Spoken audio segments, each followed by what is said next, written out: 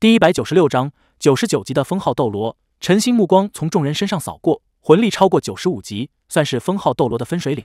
在九十一到九十五级之间，魂力的差距虽然也不小，但还完全可以凭借武魂品质的优势，或者是魂骨、魂技来弥补。但是如果交战的两名封号斗罗中有一人实力超过了九十五级，那么情况就会发生变化。九十六级的封号斗罗在魂力上比九十五级的封号斗罗要强上百分之二十。大师眼睛一亮，顿时流露出兴奋和狂热的光芒。一生精研武魂，像剑斗罗这样魂师中顶级强者的经验，对于他的研究来说实在太重要了。九十六级要比九十五级魂力强上百分之二十，那就不是武魂品质和普通的魂技、魂骨所能弥补的了。除非双方魂技有着本质的差距，否则九十六级封号斗罗应该可以全面压制九十五级以下的封号斗罗。那么，九十七级封号斗罗和九十六级封号斗罗之间的差距又有多大呢？剑斗罗陈星看向宁风致，宁风致向他点了点头。九十七级封号斗罗的魂力比九十六级封号斗罗又要强上百分之二十。听了这句话，在场众位强者都不禁一阵抽泣。古斗罗苦笑道：“所以这么多年以来，我才一直被你这个家伙压着。我达到九十五级已经十年时间了，却依旧毫无寸进。”看着自己的伙伴，陈星脸上流露出一丝淡淡的微笑。到了九十五级以后，每提升一级都不是简单的魂力积累，而是领悟。而且因为每个人的武魂都不同。所以需要领悟的东西也不一样，没有任何人的经验可以帮助别人来提升。你的魂力积蓄的早就够了，差就差在最后那一点顿悟上。古荣叹息一声，百分之九十九的努力加上百分之一的天分等于成功，最重要的还是那百分之一。悟性上，我不如你。陈星道，因为你不如我专注。唐三站在一旁静静的聆听着这些来自顶级强者之间的对话，对于他未来的修炼有着莫大的好处。大师则是一边思考着，一边说道。那这么说来，一名九十七级的封号斗罗就要比一名九十五级封号斗罗的魂力强大接近百分之五十的程度了。按照实力对比来说，一名九十七级封号斗罗岂不是能够同时迎战两名九十五级以下的封号斗罗了？陈星眼中流露出一丝赞许的光芒，他要表达的其实就是这个意思。在不考虑武魂相互克制、魂技制约的情况下，只是魂力的话，确实如此。超过九十五级后，一级之差就是天差地远。九十七级和九十八级的魂力差距就已经达到了百分之三十，九十八级和九十九级之间的差距更是达到了百分之四十。也就是说，一名九十九的封号斗罗至少可以同时面对四名九十五级以下的封号斗罗。大师点了点头，他已经完全陷入了冷静的思考之中。按照这样计算，那么九十九级封号斗罗的魂力就是九十五级封号斗罗的二点六倍还多。单从魂力上来看，这样的差距就像是一名魂圣和一名魂王之间的差距了。就算是一对六，也应该毫无问题。但实际上，考虑到大家都是封号斗罗，都拥有九个魂技以及武魂相克的因素，一名九十九级封号斗罗，也就是能够同时面对四名九十五级以下的封号斗罗。宁风致微笑道：“大师不愧是大师。所以说，在封号斗罗这个层面的强者中，已知的大约有二十位，可有些隐藏于山野之间的封号斗罗数量就不知道有多少了。”天赋上等，加上后天的努力，就有机会在有生之年达到封号斗罗级别的实力。可是，想要达到九十五级以上，那就需要天赋顶级，或者说是天赋异禀才有可能了。陈星叔叔所说的顿悟，才是最为重要的。现在的年轻一代中，拥有这样天赋的，我也只是见过史莱克七怪加上武魂殿的黄金一代。如果那个千仞雪真的拥有六翼天使武魂，那么他也拥有这样的天赋。这时，唐三突然开口了：“陈星前辈。”那九十九级与一百级之间的差距又是多少呢？陈星的目光落在唐三身上，与他那橙蓝色的双眸相对。不知道，魂世界或许曾经出现过这样的传说级强者，可却从未留下过他们的经验。说到这里，他那平静的双眸中流露出一丝向往和渴望。我的父亲六十八岁修炼到封号斗罗级别之后，又用了十年达到九十五级。在十年，他达到了九十六级时已经是八十八岁，直到一百零八岁的时候，他才突破到了九十七级。那一年，他遇到了自己一生中最后一个对手，惜败。我刚才所说的九十五级以后的等级差距，就是父亲带给我的。他和我谈了半个时辰后，戛然而逝。在他临死之前，告诉我，他的对手就是一名九十九级封号斗罗，曾经他那一代中号称天赋第一的强者。那位九十九级封号斗罗在击败父亲后，对父亲说，他为了九十九级到百级这最后的差距，已经努力了三十年，却依旧没有找到一丝办法。那时。这位封号斗罗已经超过一百二十岁高龄了。这位九十九级封号斗罗预测，百级与九十九级之间的差距，单是魂力就会超过百分之百。而且还有可能会出现第十魂环。这是用生命换来的消息，众人完全陷入了静默之中。在场的魂师中，除了大师以外，就算是魂力等级最弱的史莱克七怪几人，也都达到了六十级左右。作为一名魂师，谁不希望未来有机会攀登到顶峰？通过剑斗罗的话，他们才知道这有多难。那一年我七十二岁，已经达到了九十二级的实力。至今过去了二十四年，今年我九十六岁。如果哪位击败了我父亲的封号斗罗还活着，不知道他能否冲破最后的瓶颈。大师道，普通人的寿命大概是六十到八十岁，魂师如果不出意外。寿命达到百岁也不是什么难事，尤其是高等级魂师，到了封号斗罗级别，再延寿二十年毫无问题。那位魂师是九十九级，很有可能还活着。陈星叹息一声道：“可惜，就算他还活着，我这一生也没有挑战他的机会了。”宁荣荣有些奇怪的道：“剑爷爷，你不恨那个人吗？”陈星摇了摇头道：“父亲是含笑而逝的，我也曾经恨过，可真正超过九十五级之后，我才明白，到了这样的等级。”能与比自己更强的对手战斗，才是最大的幸事。唐三道：“陈星前辈，如果我没看错的话，您虽然断去一臂，但境界却有所提升，为什么会没机会呢？”陈星眼中骤然爆发出两团金芒，在场所有人心神都颤抖了一下。他深深的看了唐三一眼：“好，好，果然是英雄出少年。不过我说的也不是虚言，手臂断去虽令我有所领悟，但气血已伤，今后再难寸进了。我始终无法超过父亲。”在场都是聪明人，从陈星与唐三话语中的含义，他们不禁暗自骇然：这位剑斗罗竟然已经在做突破，达到了恐怖的九十七级。唐三眼中闪过一道狂热：“陈星前辈，您知道那个人在哪里吗？”陈星的目光从众人身上扫过，当年我父亲挑战他时，他是武魂殿长老殿首席供奉，长老殿前任殿主，武魂殿一代天骄，真正意义上的精神领袖。当年比比东接位之时，如果没有他的支持，以比比东那时还远未达到封号斗罗级别的实力，又怎能服众？空气仿佛变得凝重起来，每个人的瞳孔似乎都在收缩。就算是早已知道这件事的宁风致，脸色也不自觉的凝重起来。唐三这才知道，自己视为最大敌人的武魂殿中，竟然还隐藏着这样的对手。那毕竟是统治了魂师世界上千年的强大存在啊！正在这时，房门开启，一股浓重的药味从里面传了出来，这才吸引了众人的心神。独孤博率先从里面走了出来。他显得有些疲惫，看着众人希冀的目光，缓缓点了点头。杨无敌在独孤博之后也走出了房间，脸色十分苍白。先前的大战，再加上之后这几个时辰竭尽心力的疗毒，已经令这位药堂堂主极为疲倦了。他向唐三道：“宗主，我有几句话对你说。”唐三心中暗暗苦笑，就算你想单独对我说，也要找好时机啊。此时当着宁风致，自己怎能独享消息？杨长老，这里都不是外人，有什么事您就说吧。杨无敌微微一愣，这才意识到自己选择的地方不太对，但他还是点了点头，道：“雪夜大帝的毒我已经帮他彻底解了，但是因为中毒时间太长，身体器官受到了很严重的破坏。我为他用了一些固本培元的药物，但也只能支持他再活两年到五年之间了。”宁风致眉头微皱，轻叹一声：“能救活就好。两年到五年，哎，看来帝国必须要重新物色接班人才行了。这件事陛下知道吗？”杨无敌摇了摇头：“我没告诉他。”现在他已经睡了，在我的药物支持下，大概明天他就能和常人一样，最多就是有些虚弱而已。宁风致虽然心中焦急，但现在急也没用，没有雪夜大帝在，他们根本无法反攻皇宫。此时倒也不怕局势发生转变，毕竟这里集结了如此众多的魂师，除非是千仞雪能够在一天时间内调来超过一万名魂师，否则这边可保无虞。而一万名魂师那么庞大的数字，帝国群臣也不是傻子，鹿死谁手也还未可知。天斗帝国毕竟不是魂师宗门。他的底蕴厚度庞大，帝国的积蓄绝不是能够轻易吃下来的。这也是为什么武魂殿使用了让千仞雪尾装成血清河的办法，而并非强攻的重要原因。唐三道长老，老怪物辛苦你们了，先休息一下吧。杨无敌和独孤博去休息了，宁风致和唐三都陷入了沉思之中。如果说雪夜大帝现在就能清醒过来，与他们一同重返天斗皇宫，局面自然会掌握在他们手中。可如果时间拖后，千仞雪所化妆而成的雪清河毕竟是太子的身份，就有可能生出很多变数。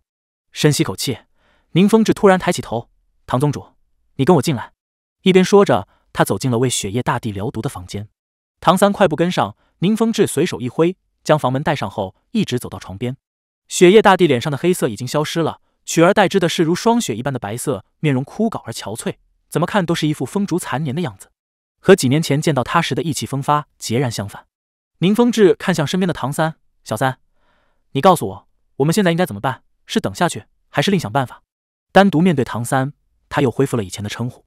唐三冷静的道：“千仞雪是聪明人，想必他们很快就会发现七宝琉璃宗内情况不对，届时立刻就会展开行动。千仞雪也会利用他所冒充的太子身份而有所作为。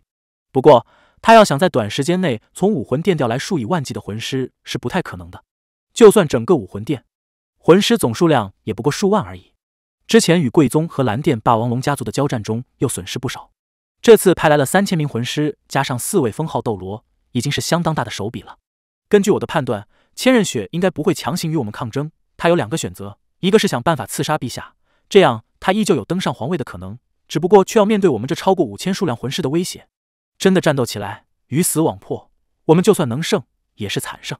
宁风致认真的听着唐三的话，那另一种选择又是什么？唐三道：破坏，尽可能的对天斗城造成一些破坏，尤其是皇宫。天斗帝国元气大伤之下，今后武魂殿还有的是机会。毕竟，现在在整片大陆上，武魂殿都已经占据了优势。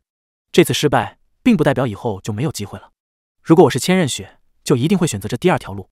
而如果您和七宝琉璃宗的子弟们没有离开皇宫的话，恐怕就要承受他们的毁灭性攻击了。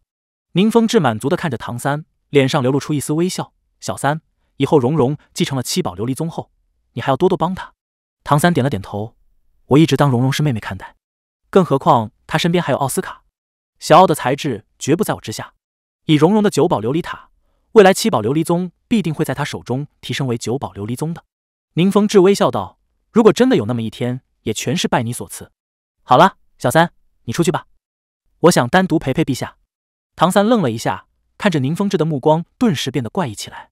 宁风致无奈的摇摇头：“傻小子，有的时候太聪明也并不是一件好事。出去吧。”唐三眼中多了些什么？当他看到宁风致眼神中的果决光芒时，终于转过身，步伐有些艰难的走了出去。半个时辰后，房门再次打开，宁风致告诉大家，雪夜大帝已经清醒了，并且传下旨意，要在这里召见天斗城城防禁卫军总长。宁风致命古斗罗亲自跑一趟。在这个时候，雪夜大帝手头没东西，自然无法写圣旨，所以这请人的方式也要简单直接一点。在半个时辰过去。当雪夜大帝见到城防禁卫军总长后，立刻下达了一连串的命令，天斗城内的气氛也骤然变得紧张起来。同时，雪夜大帝也召见了身在史莱克学院进修的那两千名魂师首领。至此，身在史莱克学院内总数高达七千人的魂师们全部归一，其中史莱克学院和四元素学院中能够出战的老师多达百人。至于那两千名学员，却在众位强者的一致认同下，不让他们参与接下来的行动。这些青年魂师都是魂世界的未来，也是天斗帝国的未来，损失不得。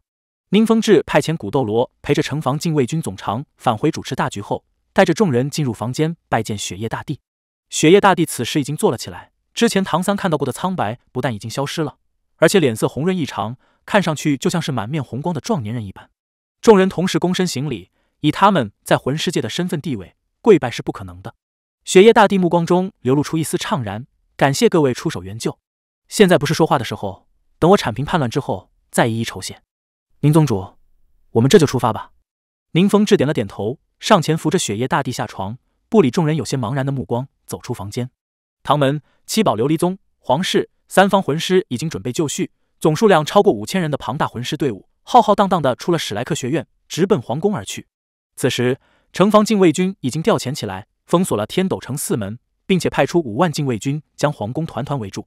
城防禁卫军此时正与皇宫禁卫军对峙，双方各不相让，谁都不肯退让。不过雪夜大帝给出的命令也只是围住皇宫。此时大帝亲临，一切自然迎刃而解。同时，得到城防禁卫军通知的百官也已来到皇宫外。禁卫军不敢怠慢，赶忙开启皇宫大门，迎接雪夜大帝回宫。在雪夜大帝一连串的命令下，禁卫军配合他带回的五千名魂师，开始在皇宫内搜索。抓捕千仞雪一行，唐三与宁风致并肩来到了七宝琉璃宗设在皇宫内的宗门外，搜索已经进行了半个时辰，种种迹象表明，千仞雪与他带入皇宫内的两千名魂师就在七宝琉璃宗的宗门之中。宁风致的脸色很难看，他为了掩人耳目，留在宗门的虽然都是七宝琉璃宗外门弟子，但数量也在百名开外。不用问，这百名魂师必定已经惨死敌手。动手！宁风致大喝一声，与古斗罗。剑斗罗率先向宗门院墙上腾身而起，黄金铁三角、唐门众人也同时发起了进攻。有这些强者冲在前面，已经围住整个七宝琉璃宗的魂师们也飞速腾起，数百名飞行类魂师更是直接飞到空中。尤其是唐门闵堂的弟子们，飞快地掌握好了最恰当的侦察位置。但是，这所有的一切却都白费了。当众人进入七宝琉璃宗之后，看到的并不是两千名敌人，而是两千多具尸体。天斗帝国皇室所属驻守皇宫内的那两千名魂师的尸体。宁风致脚下踉跄了一下，在古斗罗的扶助下才站稳身形，一时间已是双目尽赤。地上这两千多具尸体中，除了有他七宝琉璃宗百余名外门弟子以外，其他那些皇室魂师也大都经过他的培养，可谓是天斗帝国皇室所掌控的中坚力量。要知道，整个天斗帝国皇室所掌握的魂师也不足五千啊，这一下就去了一少半，与武魂殿之间的实力对比，无疑就变得更加巨大了。仔细检查这些尸体，不难发现，这些魂师大都是被偷袭而死。不用问，众人也能明白千仞雪的做法，在七宝琉璃宗的影壁墙上用鲜血写成了一行大字：“唐三，这次你赢了。”我们还会再见面的。落款是一个栩栩如生的血色天使图案，六只血翼伸展开来，似乎是在向唐三宣战一般。真的赢了吗？唐三脸上笼罩着一层寒霜。从战略意义上来看，这次他们破坏了千仞雪多年潜伏的计划，无疑是获得了胜利。但是他们歼灭的却只是武魂殿千名魂师，而天斗帝国付出的却是对方的一倍之多。在魂师的数量对比中，双方的差距继续被拉大。探查宗门内情况的剑斗罗回到宁风致身边，宗主，他们是从我们的地道中逃出皇宫的。宁风致大口的呼吸了几口充斥着血腥气息的空气，猛一咬牙，清理现场。出乎所有人意料的是，雪夜大帝的冷静。在得知这边的情况之后，这位帝王并没有什么表示，只是下令厚葬这些死去的魂师，甚至没有对天斗城武魂圣殿采取任何行动。少主，你的决定是正确的，只是我不明白。为什么他们会那么快就救活雪夜大帝？这是你已经猜到的吗？蛇毛斗罗蛇龙有些感慨的说道。千仞雪此时已经恢复了自己的本来面貌，修长的娇躯在一袭淡黄色长裙的笼罩下楚楚动人，她的脸色已经恢复了平静。我也想不到他们能够这么快就返回皇宫。我是以最坏的打算考虑的，在优势的情况下，我不会去赌。旁边脸色依然苍白、尚未从重创中恢复过来的刺豚斗罗叹息一声：“少主，这次的事……”我们回去后怎么向教皇陛下交代？千仞雪看了他一眼，一切由我。这场战斗才刚刚开始，如果敌人都是不堪一击的，又有什么意思呢？冷厉的光芒从他眼中一闪而逝。唐三，我要回武魂殿尝试对第二块天使神装的吸收了。下次见面，不知你还能否好运的从我手中逃脱？想到这里，他不禁回首望向天斗城，在这里生活了那么多年，本应该属于他的一切，却就此失去。虽然他在最后时刻挽回了损失，并重创天斗帝国，但战略上他还是败了。而这一切真的要追究责任的话，也并不只是在他身上。按照他原本的计划，是要顺理成章的去接任天斗帝国皇位的。要不是比比东执意提前发动，他又怎会那么早就激发雪夜大帝体内的剧毒呢？他的身份也根本就不会暴露。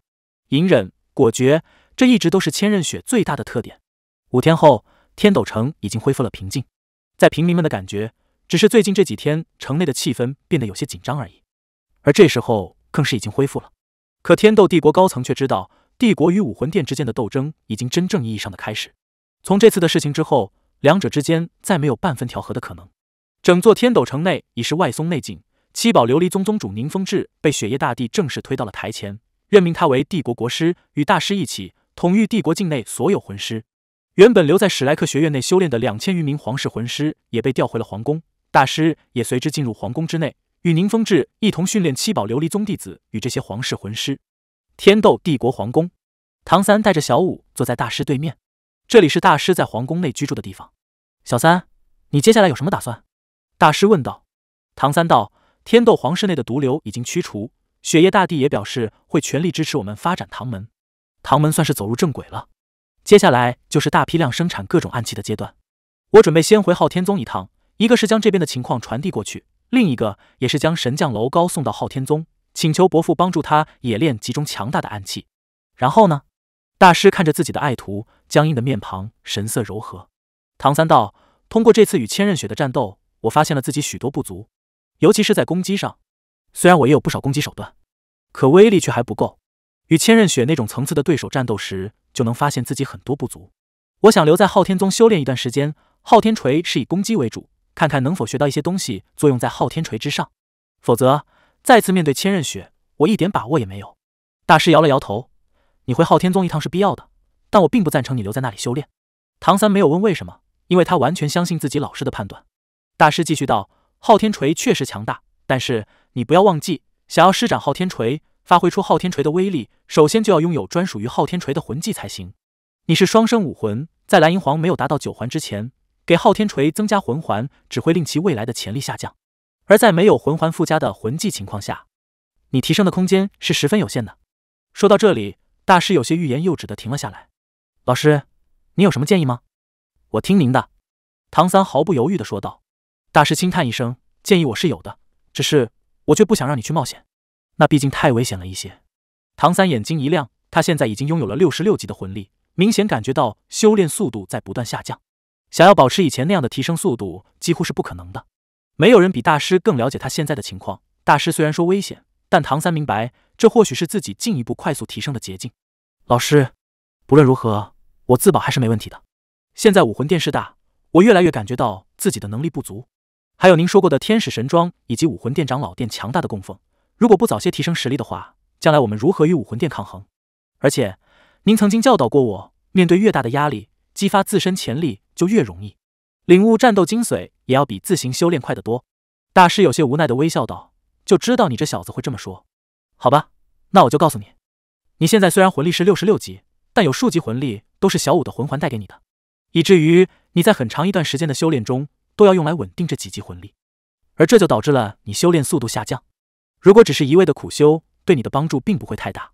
想要尽快的让自己与这些魂力完全融合，就必须要通过不断的战斗，最好是在生死考验那种强大的危机中战斗，这样你的战斗技巧不但会进一步增加，而且魂力提升速度也会变得快起来。这些天，我仔细研究过奥斯卡的情况。他作为一名食物系魂师，这五年来的提升速度却不亚于你们，就是因为他始终在面对着致命的危险，在强大的压力下，逼迫的他自身不得不提升。毫无疑问，他的选择虽然危险，但却是极其正确的。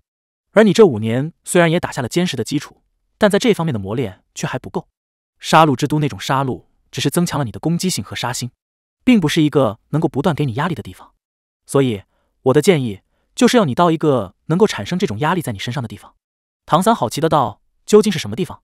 大师想了想，可以说是一片魂兽森林，但是那里却不同于你所知道的任何魂兽森林，因为它是一座岛屿，在那里生活着许多奇特的魂兽，还有许多奇特的魂师。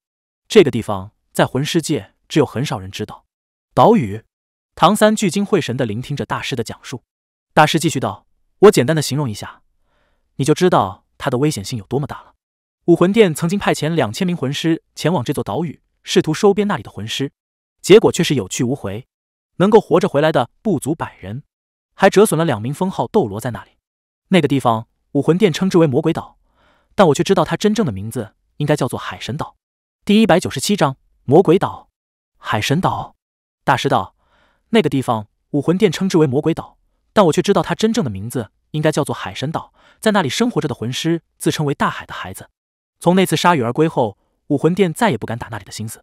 如果我猜的不错，在这座岛屿上，至少有一名至强的魂师，也就是剑斗罗所说的巅峰封号斗罗，九十五级以上的强者，甚至是九十九级的绝世斗罗。否则，武魂殿吃了那么大的亏，又怎会不报复呢？另外一个原因就是，海神岛上生活着的人是不会离开那座岛屿的。唐三惊奇的道。在魂世界还有这样一个奇异的地方，以前怎么没听您说过？大师叹息一声道：“如果可以，我永远也不希望你与那里的魂师打交道。以前也不认为你会与他们产生任何交集，自然不会告诉你了。”唐三问道：“那您去过海神岛吗？”大师点了点头：“我曾经去过一次，也就是那次武魂殿向海神岛攻击的时候。那时我还与比比东在一起，听说有这么一个神奇的地方，就和他们一同去了。到了那里，我才知道。”原来魂师界还有如此一批不为人知的神秘魂师，他们不但神秘，而且极为强大。我们这些魂师与他们接触会极不适应。海神岛之所以被武魂殿称之为魔鬼岛，就是因为那次的战斗。但实际上，海神岛的魂师虽然很难接触，但也并非嗜杀之人。他们世世代代都留在那里，自称为大海的孩子，又称之为海魂师。他们所拥有的武魂也极为奇异，大都与水生动物有关，因此他们的魂技。也与我们有着极大的区别。海神岛地处大陆西侧的大海之中，在那里，这些拥有水生动物武魂的魂师无疑能够将自身实力最大程度的发挥出来。在海神岛上也有着众多奇异的魂兽，所以我才说那里可以算是一片特殊的魂兽森林。唐三问道：“那里的海魂师有多少人？”大师道：“海神岛上生活的每一名人类都是魂师，保守估计至少有超过两千人，甚至更多。我之所以判断在那里拥有巅峰级别的封号斗罗，就是因为击杀了武魂殿这边封号斗罗的几个人口中几次提到海神大人四个字，看他们的表情和语气，并非是在祈祷神明，而是像是在称呼一个人，一个在海神岛上拥有至高权力的人。而那几名海魂师都已经是封号斗罗级别的实力。”能够令他们恭敬称之的，自然也要是巅峰斗罗以上的实力，还可能是九十九级的绝世斗罗。听了大师的讲述，唐三心中已经简单的勾勒出一个海神岛的样子。老师，您的意思是让我到海神岛上去历练吗？大师点了点头。海神岛无疑是充满了各种危机的，但是也充斥着各种机遇。海魂师并不是杀外人到那里，只要通过他们的考验，就可以留在那里生活，成为一名海魂师。但有一点，成为了海魂师之后。就不能离开那里，这是海神岛的规矩。那次武魂殿是以敌对的方式登上海神岛的，而且还击杀了一些海魂师，这才引起海魂师的强烈反弹。在对方的全力攻击下，最后全身而退的也只是百余人而已。可见这些海魂师有多么强大。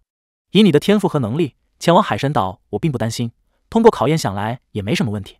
但重要的是，你怎么从那里回来？这一切就要依靠你自己的力量去摸索了。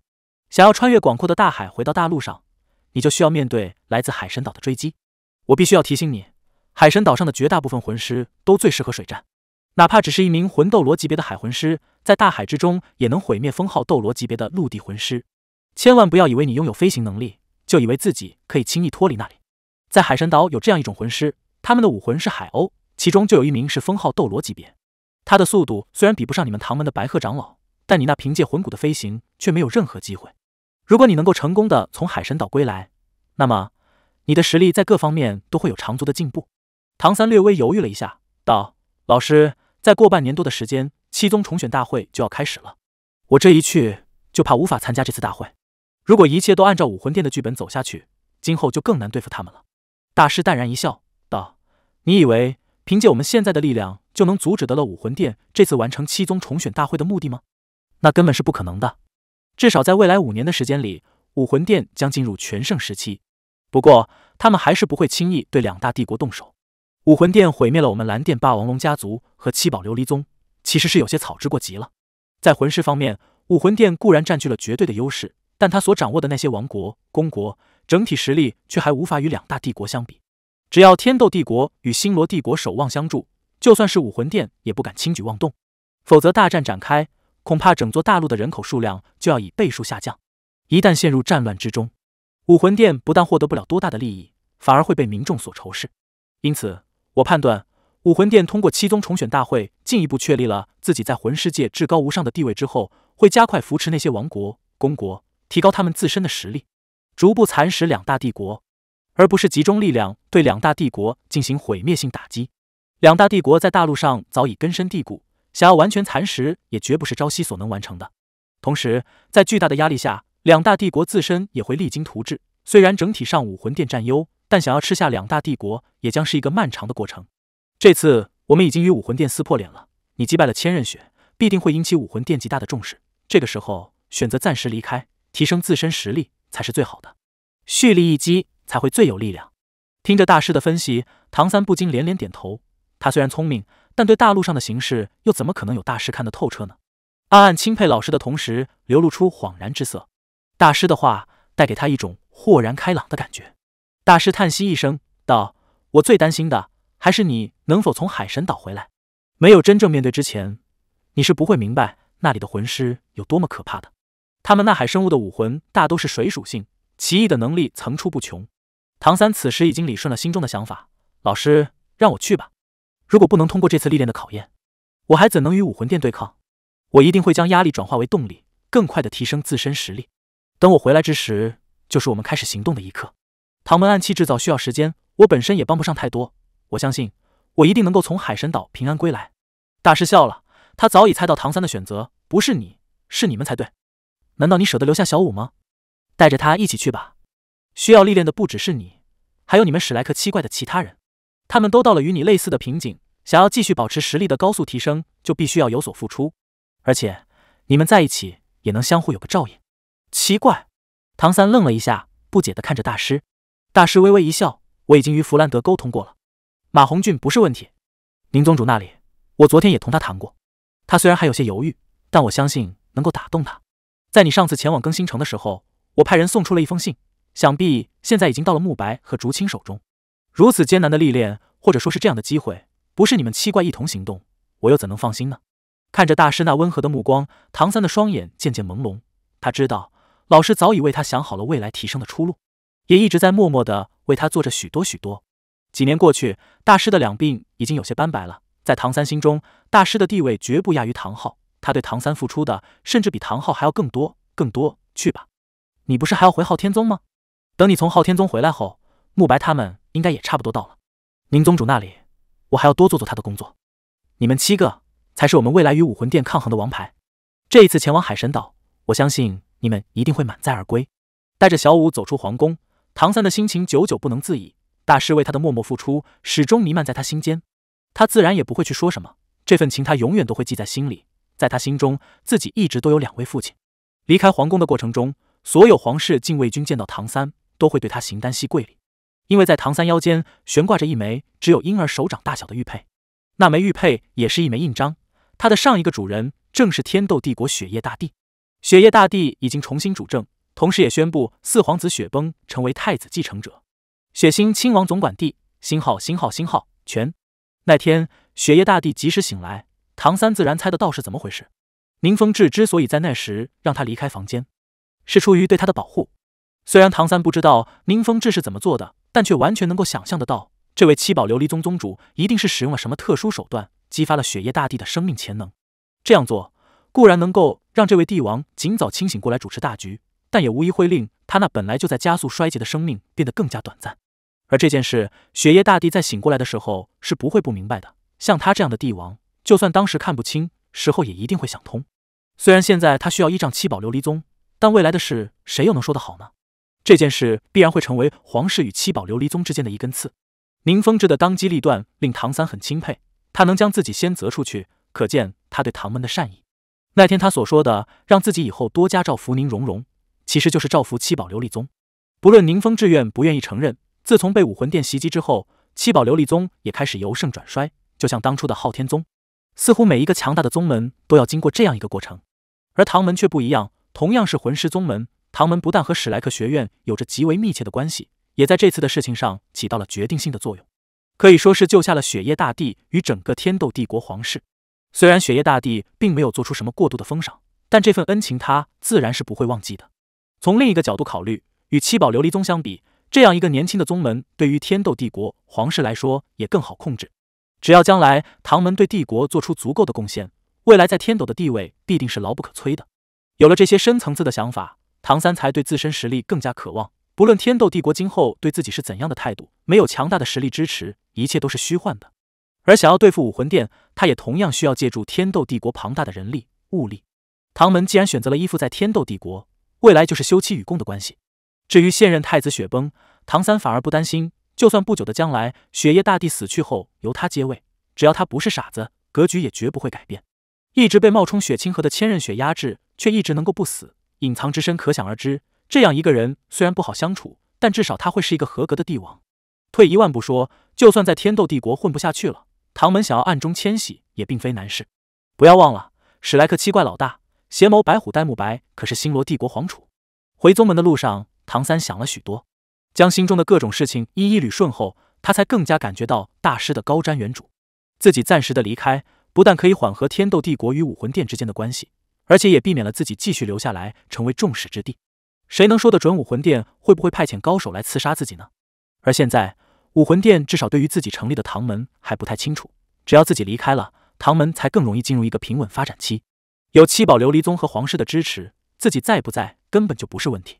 想通了这一切，唐三也已经坚定了未来一段时间自己要走的路：提升实力，稳步发展，唐门才是最好的选择。激进只会换来毁灭。就算是现在的昊天宗已经拥有了六位封号斗罗级别的强者。可那天听了剑斗罗陈星的话之后，唐三才真正明白为什么当初爷爷会选择退避三舍。在近百年来，现在的昊天宗可以说是拥有了最强的实力，多达六位封号斗罗。可实际上，除了宗主唐啸之外，其他的五位长老也只是封号斗罗而已。以他们的年纪，根本不可能去冲击九十五级的高度了。就算是唐啸，五十年内恐怕也达不到九十九级那种程度。这又如何与武魂殿抗衡呢？谁能知道在武魂殿中究竟隐藏了多少绝世强者？不知不觉中，唐三已经牵着小五回到了唐门。刚一进大门，就听到有人惨叫一声：“沉香妹妹，你不能这样对我啊！就算你不同意，也不能打我，是不是？”“呸！谁是你的沉香妹妹？你怎么不去死？你这个死胖子，竟敢到爷爷那里乱说话！我跟你没完！”眼看着一团硕大的黑影朝自己方向扑来，唐三脸上不禁流露出一丝淡淡的微笑。右手一挥一卸，将来者的冲力卸到一旁。他的动作还没完成，一道迅疾无比的白色身影就已经来到近前，一脚踢在那硕大黑影肉厚的地方。你们这是唱的是哪一出啊？唐三有些无奈的将马红俊拉到身边，那肥硕的身影自然就是这个胖子了。马红俊何等机灵，赶忙一闪身，躲到唐三和小五背后，偷眼看向那已经站定在唐三身前的白色身影，正是闵堂堂主白鹤的孙女白沉香。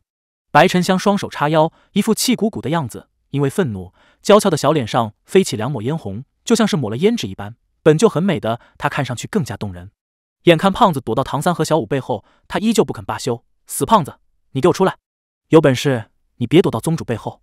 表哥，你可要给我做主！这死胖子要害死我了！唐三呵呵一笑，赶忙道：“好，好，我给你做主。你先消消气，总要告诉我，胖子究竟做了什么伤天害理的事。”让你生这么大气啊！马红俊迅速钻了出来，刚想开口，却被白沉香狠狠地瞪了回去。说也奇怪，马红俊这家伙平时虽然总是笑嘻嘻的，但实际上心硬如铁，在史莱克七怪中也只是略怕戴沐白和唐三而已。对外人那是半点亏也吃不得的。可面对白沉香这充满娇嗔的一瞥，竟是说不出话来，一副抓耳挠腮的样子。白沉香气嘟嘟的道：“这个死胖子竟然去向我爷爷提亲，我爷爷居然还答应了。”还让我对他好一点，表哥，你可要替我做主啊！这死胖子明显没安好心，我嫁猪嫁狗也不嫁他。听了白沉香这话，唐三也不禁愣了一下。胖子去向白鹤提亲，这他可以理解。胖子的手段虽然直接了一些，但能得到白鹤的认可，自然事半功倍。但令唐三不解的是，为什么白鹤会答应下来，而且还在没与白沉香商量的情况下答应？这就有些奇怪了。要知道，白沉香虽然比不上小五，但也算得上是国色天香了。自然眼界极高，胖子的外形又不算讨喜，难道就因为胖子也是唐门的堂主之一吗？这是不可能的。白鹤怎么说，之前也是敏之一族族长，更何况他还是自己的舅爷爷。看着白沉香渲然欲泣的样子，唐三赶忙道：“沉香，就爷爷真的答应了你们的婚事。”白沉香狠狠的点了点头，不知道这死胖子给爷爷灌了什么迷汤，爷爷竟然真的就答应了。我去找爷爷理论，爷爷还说他是个好人，相处相处就习惯了。还让多想想他的优点，这死胖子有什么优点？一身肥肉吗？马红俊这下有些忍不了了。沉香妹妹，话可不能这么说啊！我的优点还是很多的，人家都称我为一尘不染小郎君，诚实可靠美少年。呸！我看你是脸皮比城墙拐弯还要厚三倍。见过不要脸的，就没见过你这么不要脸的。哼，反正我就是不嫁，爷爷答应了，我也不嫁，大不了我离家出走。唐三有些无奈的摇了摇头，道：“好了。”沉香妹妹，你也别生气，我去和舅爷爷谈谈。只要你不愿意，没有人会勉强你的。胖子也不会。马红俊瞪大了眼睛看着唐三三哥，你这可是胳膊肘向外拐啊！我好不容易才征得了白长老的同意。唐三向胖子使了个眼色，感情是双方面的。难道你真的想要勉强沉香吗？马红俊愣了一下，他和唐三在一起年头也短了，看到唐三递来的眼神，就没有再说什么。白沉香明显放松了许多，看看唐三和他身边的小五，再狠狠地瞪了胖子一眼。道：“表哥，那这件事可就拜托你了。不论如何，你都要替我做主，我们可说定了哦。”唐三微笑点头：“放心吧，我还是那句话，只要你自己不愿意，没有人会勉强你的。”白沉香兴高采烈的走了。唐三乃是唐门门主，他的话自然是很有分量的。等到白沉香蹦蹦跳跳的离去，马红俊才忍不住问道：“三哥，你这是？”唐三瞥了他一眼，道：“强扭的瓜不甜。你这方法虽然直接，但不可操之过急。”否则只会起到反效果。舅爷爷不是答应了你们的事情吗？这样一来，你追求沉香就只有他自身的阻力而已。我会帮你的，但能否获得他的芳心，就要看你自己的本事了。胖子用力的点了点头，三哥，我这次是真心的，我保证会对他好。我听你的，一定会用自己的诚意感动他。嘴上虽然这样说着，但他脸上的表情明显有些颓然，显然是连他自己也不太看好自己。论外形，他确实和白晨相差得远了些。唐三压低声音在马红俊耳边说了几句话，马红俊开始是愕然，一会儿的功夫，顿时转悲为喜。三哥，你说的是真的？唐三点了点头。我们史莱克七怪中，就你还没有归宿，能帮的我当然会帮你。不过还是那句话，成不成还要看你自己的。你要牢记“患难见真情”这句话。记得小奥是如何获得蓉蓉芳心的吗？拿出你的真情实意吧。留下陷入兴奋思索中的马红俊，唐三带着小五回到宗主府，传令宗门弟子召见葛堂堂主。时间不长，闵堂堂主白鹤、药堂堂主杨无敌、玉堂堂主牛高、立堂堂主泰坦以及武堂堂主马红俊和同等级别的宁荣荣、奥斯卡都来到了宗主府议事大厅之中。唐三端坐主位，众人纷纷行礼之后落座。宗门有宗门的规矩。这些礼数是单属四宗族四位族长主动要求的。太堂主，楼高长老在忙些什么？唐三见楼高并没有与泰坦一同前来，向他问道。泰坦苦笑道：“楼高这老家伙对铸造的痴迷比我更甚，这些天他可真是两耳不闻窗外事，整天就督促着立堂弟子们铸造呢。不过有他的指点，我也轻松了不少。”唐三点了点头，这才转向众人：“目前我们唐门已经算是走入了正轨，不久之后，第一批暗器也将制造出来。”我们暂时是不打算招收门人弟子的。这次请大家来，主要是有件事要与你们商议。今天我与老师谈过一段时间，目前我们史莱克七怪的几个人实力都达到了一定程度上的瓶颈，想保持继续高速的提升，就需要另辟蹊径。我打算将唐门事务暂时交给四位长老，动身前往一个适合的地方修炼一段时间。走的不只是我，蓉蓉、奥斯卡、马红俊都会和我一起走。玉堂堂主牛高道：“努力修炼是好事，不过宗主，你这一走。”要去多长时间？唐三道，我也不知道。我们要去的那个地方有一定的危险性，就是要在那能够带来压力的地方，才更有利于我们的实力提升。至于多久能够回来，我也说不好。后勤方面，蓉蓉和奥斯卡都跟我走后，我会拜托宁宗主和陛下照顾唐门。一听唐三说这一走不知道要去多长时间，四位长老都有些沉默了。半晌后，杨无敌率先开口道：“宗主，你们去吧，唐门交给我们，唐门在。”我们在，他的语气就像是在说自己的破魂枪，人在枪在，枪毁人亡。虽然杨无敌平时话不多，但他的话却很有分量。泰坦道：“宗主，我们都明白，你是为了变得更强，好在未来与武魂殿抗衡，才决定去修炼的。但是你也不能忘记，身为唐门之主，你身上责任重大，唐门不能太长时间群龙无首。”唐三点了点头，将今天大师对大陆上的局面分析复述了一遍。我明白各位长老的担心。杨长老曾经与我共同面对过武魂殿的敌人，相信你们也都很清楚武魂殿所拥有的庞大势力。从任何角度来看，我们都处于绝对的弱势。唐门需要强者，如果我们年轻一代不能快速成长起来，未来就会变得更加被动。我已经考虑得很清楚了，我也相信，不论面对怎样的危险，我们都一定会活着回来。泰坦思索片刻后，毅然道：“那好，宗主，你们就放心去吧。唐门交给我们，就按照我们商量过的。”将药堂的药物与我们立堂制作的暗器结合在一起，制造出一批精良暗器。首先装备七宝琉璃宗，然后装备我们自身，再制造出来的就卖给天斗帝国皇室。想要大批量制作暗器，我们也需要一段很长的时间。相信等你们回来的时候，我们唐门也就真正的能够站稳脚跟了。唐三道，我与老师商量过了，未来我们唐门只从史莱克学院招收经过考验的弟子，由老师他们推荐进入唐门，这样可以保持我们唐门弟子的质量。马红俊跟我走了，武堂就暂时由牛奔叔叔负责吧。在单属四宗二代子弟中，牛奔算是最出色的一个了。接下来，整个会议围绕着未来唐门发展的路线以及各方面细节展开。唐三准备离开的时间不短，在临走之前，他必须要将自己的想法全部与四位长老商量好，保证唐门在他离开的这段时间中健康发展。正像大师所说的那样，唐门已经走上正轨，不论是七宝琉璃宗还是天斗帝国皇室，都会无条件的对唐门进行支持。未来唐门的道路会走到何种程度，还是要取决于唐三他们能够取得怎样的成就。拥有一名封号斗罗的宗门和没有封号斗罗的宗门截然不同，而拥有一名绝世封号斗罗的宗门则更加不同。史莱克七怪都有着巨大的潜力，如何将潜力转化为实力，与武魂殿正面抗衡，才是唐三面临的最重要的问题。夜幕降临，唐三将已经在自己怀中睡着的小五抱回房间，正在他准备开始修炼时，外面却传来了脚步声。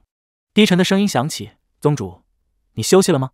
唐三走出寝室，来到外面的客厅。杨长老，您进来吧。他早就猜到杨无敌会来找自己，只是不确定他会来的时间而已。杨无敌推门而入，他的性格一向很直接，就像他的破魂枪一样。宗主，我有件事要对你说。唐三做出一个请坐的手势。长老，请说。杨无敌没有坐下，站在那里沉吟片刻后道：“你是不是很奇怪，为什么我能解除雪夜大帝的毒？”唐三道。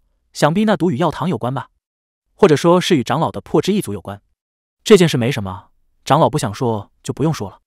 我信得过您。杨无敌摇摇头道：“不，这件事我必须要告诉你。我不希望因为我们破之一族的叛徒而影响到唐门未来与天斗帝国之间的关系。”叛徒？唐三心中一动，已经猜出了个大概。杨无敌眼中流露出一丝怅然。唐三还是第一次从这位刚烈的老人身上看到这样的神情。没错。雪夜大帝所中的毒，正是我们药堂制作的，或者说是破之一族的禁忌剧毒之一，名叫七彩斑斓。这种剧毒是通过七种原本无毒的药物混合在一起而成，最大的特点就是隐藏性强。因为制造它的七种材料本身无毒，就可以按照一定的配比不断给人服下，哪怕是再谨慎的人，也会在不知不觉中被它所侵蚀。而且一旦食用满七种药物，就会立刻毒发。刚开始时并不剧烈。但中毒者会感觉到极为痛苦，七彩斑斓会不断的腐蚀着中毒者的生命力，直到其生命终结为止。